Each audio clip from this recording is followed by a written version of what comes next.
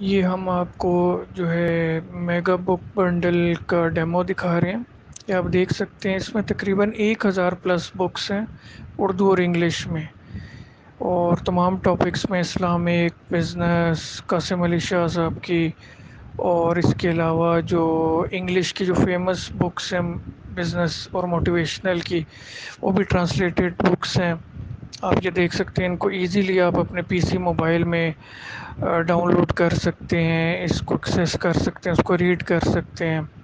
और इंग्लिश में भी ये बुक्स हैं, आप देख सकते हैं।